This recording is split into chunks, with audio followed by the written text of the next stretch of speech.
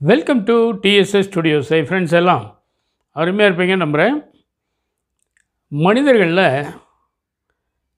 மூணு வகைம்பாங்க. எங்கே அங்கே எங்கேயோ பின்னாடி திரும்பி பார்க்குறீங்க. நம்ம தாங்க நம்மெல்லாம் சேர்ந்து தான் மனிதர்கள். மனிதர்களில் மூணு ரகம் மூணு வகை அப்படின்னு சொல்லுவாங்க. அது என்னன்னு கேட்டிங்கன்னா அந்த காலத்தில் கற்பூரம் கரித்துண்டு வாழைமட்டை மூணு கற்பூரம் அப்படின்னா என்ன? நெருப்பு கற்பூரத்தை கிட்ட கொண்டு போனாலோ அல்லது கற்பூரத்தை நெருப்பு கிட்ட கொண்டு போனாலோ டச் ஆகிறதுக்கு முன்னாடியே அந்த ஆவியில் டக்குன்னு பற்றிக்குமா இது ஒரு வகையான மனிதர்கள்.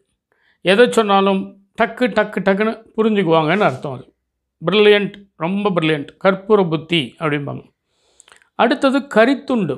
கரித்துண்டுன்னா என்ன? இந்த துணி இஸ்திரி பண்ணுறவங்கெல்லாம் அந்த பெட்டிக்குள்ளே போட்டு வச்சுருப்பாங்க பார்த்தீங்களா ஒரு கனல். அதுதான் கரித்துண்டு.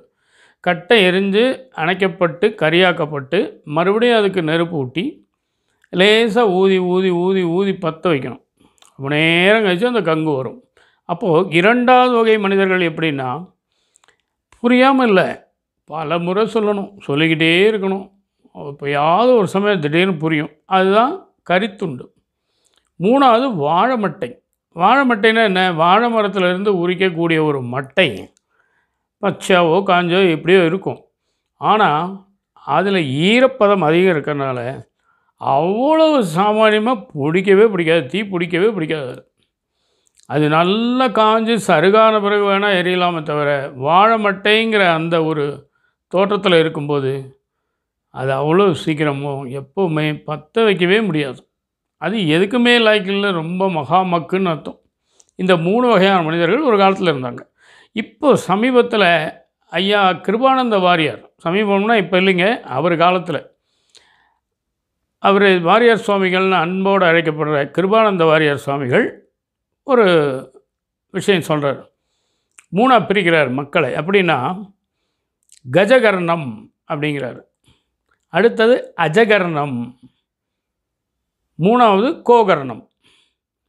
கஜகர்ணம் அப்படின்னா சொல்லுவாங்க கஜகர்ணம் போட்டாங்க குட் கர்ணம் போட்டாங்க. ஒன்றும் நடக்கலைங்கப்பா கஜம்னா யானை. அந்த யானை பார்த்திங்கன்னா ஒரு இடத்துல நிற்கவே நிற்காது இந்த நாலு காலையும் மாற்றி அப்படி அங்கேயும் இங்கேயும் இங்கேயும் ஆடிக்கிட்டே அசைஞ்சிக்கிட்டே இருக்கும். அதுதான் இங்கிலீஷில் சொல்கிறாங்க rolling stone gathers no moss rolling stone gathers no moss அப்படின்னா ஓடிக்கொண்டிருக்கும் ஒரு கல். அந்த கல்லை எடை போட முடியாது. அதற்கு எடை கிடைக்காதுங்கிறாங்க. எடை இருக்கும் ஆனால் கிடைக்காது. அது மாதிரி இந்த மக்கள் ஒரு சிலர் என்ன பண்ணுவாங்கன்னா அங்கேயும் இங்கேயும் அதில் கொஞ்சம் இதில் கொஞ்சம் எல்லாம் சுற்றி சுற்றி சுற்றி வேலை பார்த்துட்டே இருப்பாங்க. ஒரு வேலையும் உருப்படியாக இருக்காது.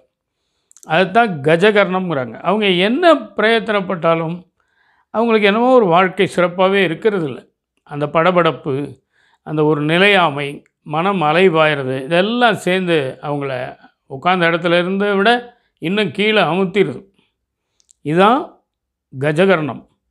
அஜகர்ணம் அப்படின்னா ஒரு ஆட்டுக்கு உதாரணமாக சொல்கிறார் ஒரு ஆட்டினுடைய வாழை பிடிச்சி இழுத்தீங்கன்னா தலையை இப்படி தொங்க போட்டுருமா இனிமேல் தான் இழுத்து பார்க்கணும். அவர் சொன்ன பிறகு இன்னும் அதை டெஸ்ட் பண்ணல. அப்போது ஒரு சில மக்கள் என்ன பண்ணுறாங்கன்னா அவங்கக்கிட்ட இருக்க குறையை சொன்னால் தலையை தொங்க போட்டுட்டு திருந்திட்டால் பரவாயில்ல. நம்மளை வெறுக்க ஆரம்பிச்சிருவாங்களாம்.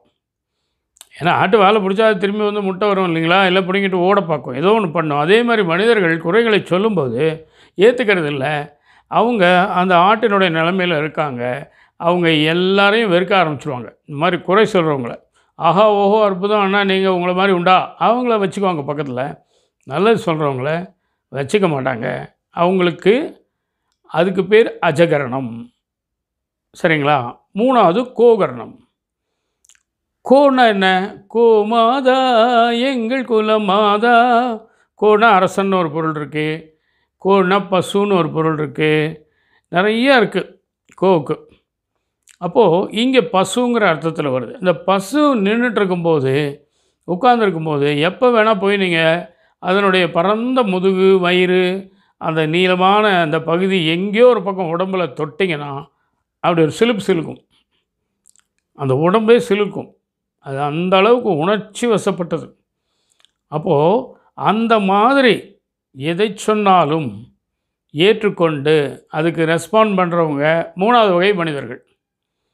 அவங்கள தான் கோகர்ணம் அப்படிங்கிறார். உணர்வுபூர்வமாக இருக்கணும். நிஜ வாழ்க்கையில் இன்றைக்கி வாழணும். நேற்று நடந்ததை பற்றி இன்றைக்கி கையை கொடுத்து கவலைப்பட்டு இருக்கக்கூடாது. அதனுடைய விளைவாக நாளைக்கு இப்படி ஆயிருமோ அப்படி ஆயிருமோன்னு மறுபடியும் கவலைப்பட்டு இருக்கக்கூடாது ஏன்னா நேற்றும் நாளைக்கும் நமக்கு எப்போவுமே தெரியாது. நேற்று முடிஞ்சு போச்சு நாளைக்கு எப்போ வரும்னு தெரியாது. நம்ம இருப்போமான்னு தெரியாது. அதனால் அந்த ரெண்டையும் விட்டுட்டு இன்றைக்கி சிலிர்ப்போட துடிப்போட உயிர்ப்போட வாழ்க்கை வாழ்கிறாங்க பார்த்தீங்களா அவங்கள தான் கோகர்ணம் அப்படிங்கிறார் அவர். அதனால் கஜகர்ணம் அஜகர்ணம் கோகர்ணம். இந்த மூணு கர்ணங்களையும் நம்ம போட்டுக்கிட்டு தான் வாழ்க்கையில் வாழ்ந்துட்டுருக்கோம். எனக்கு அது கிடைக்கல இது கிடைக்கலன்னா நம்ம இந்த எந்த கர்ணத்தில் இருக்கோன்னு பார்த்து அடுத்த கர்ணத்துக்கு ஒரு குட்டி கர்ணம் போட முயற்சி பண்ணணும்.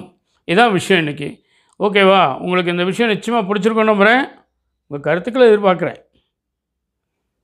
மீண்டும் அடுத்த எபிசோடில் சந்திப்போமா? அதுவரை உங்களிடம் இந்த விடைபெறுவது உங்கள் அன்பன் டி சண்முக சுந்தரம் போத்தனூர் கோயம்புத்தூர். நன்றி வணக்கம்.